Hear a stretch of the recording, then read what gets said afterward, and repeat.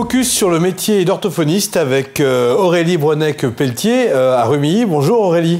Bonjour. Alors il était important de parler avec vous puisqu'il y a de nombreuses familles qui nous regardent, euh, qui ont bien sûr des enfants, parfois handicapés.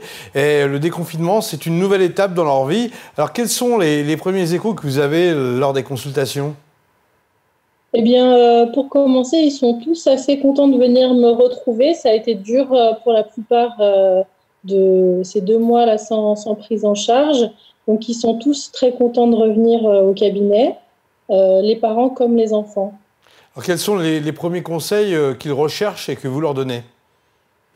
Alors, pour l'instant, comme on a été dans une prise de contact sur un retour, les premières séances ont été plutôt tranquilles pour se remettre dans le bain pour euh, intégrer les gestes barrières qu'on applique euh, au cabinet.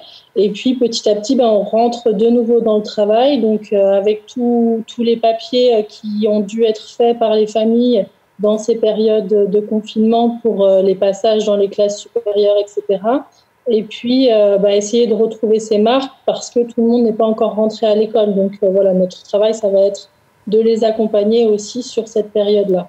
Vous sentez euh, une difficulté dans, dans le dialogue euh, parents-enfants et euh, dans l'approche de cette redécouverte de la vie sociale finalement? Euh, moi, je pense qu'ils sont très contents de retrouver euh, du lien social et de retrouver euh, les professionnels qui les accompagnent généralement, que ce soit les enseignants ou les paramédicaux, parce qu'effectivement, se retrouver isolé quand on a des difficultés, c'est pas simple déjà pour des enfants qui vont bien.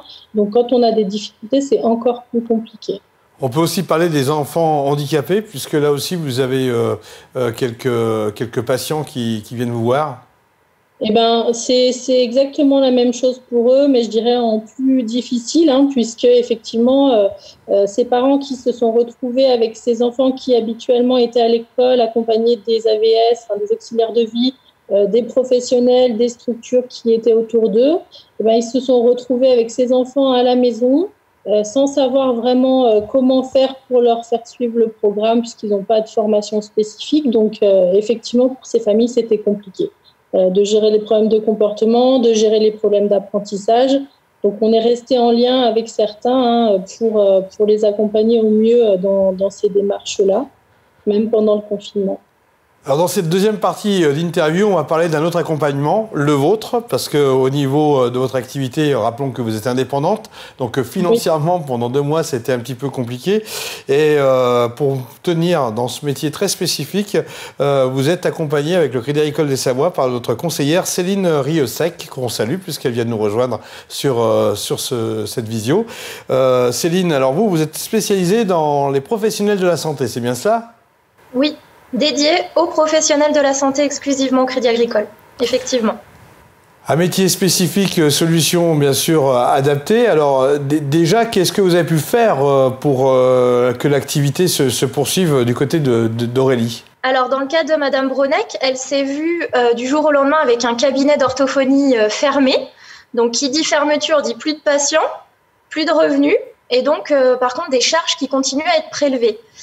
Donc on a tout d'abord discuté par téléphone et la solution la plus euh, adaptée euh, à, sa situation a été euh, la mise en place du PGE, donc le prêt garanti par l'État, qui est un prêt de trésorerie à court terme, à taux zéro, avec une garantie d'État BPI à hauteur de 90%. Alors, au niveau de sa mise en place, tout se fait par, par téléphone. Hein. On a d'abord calibré ensemble le montant qui était adapté euh, bien sûr en, ne dépassant pas les, trois mois de son chiffre d'affaires.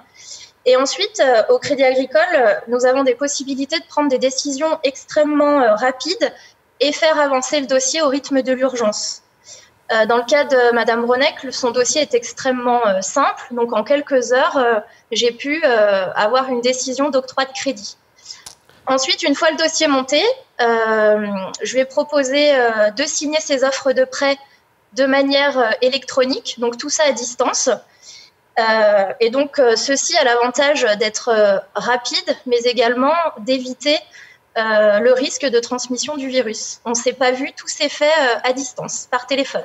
Les bons réflexes du digital avec bien sûr cette notion humaine qui traduit bien votre activité de, conseillère. Alors moi j'aimerais savoir Aurélie comment ça s'est passé pour vous? Parce que j'imagine que c'est perturbant. Vous avez l'habitude de prendre soin des autres, mais là il fallait prendre soin de vous finalement au niveau financier. C'est ça. Euh, bah, écoutez, ça s'est plutôt bien passé dans le sens où, euh, après le choc de la fermeture, euh, j'ai attendu un petit peu avant de prendre des décisions et je me suis renseignée pour savoir ce que je pouvais toucher comme, aide. Et puis, ben, j'ai rapidement appelé Céline Riosec pour faire le point avec elle. Donc, elle a été à l'écoute et m'a apporté les solutions nécessaires pour, affronter cette période compliquée.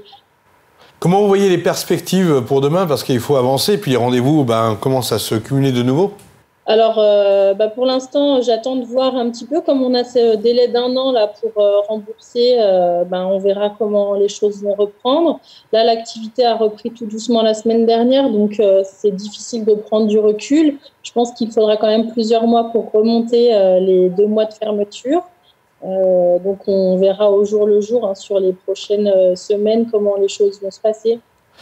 Alors Céline, j'imagine qu'au Crédit Agricole, au niveau euh, des activités de la santé, il y a d'autres profils comme Aurélie qui, se succèdent. Est-ce que globalement, dans, la filière, les, personnes vont s'en sortir quand ils sont indépendants, quand elles sont indépendantes, pardon, et qu'elles doivent surmonter à de tels besoins financiers? Oui, on a, plusieurs profils, mais dans, la majeure partie des cas, euh, les professionnels de la santé vont s'en sortir. Entre euh, les pauses qu'on a pu euh, leur mettre sur les crédits en cours, les PGE, et puis, leur mobilisation, ils vont s'en sortir.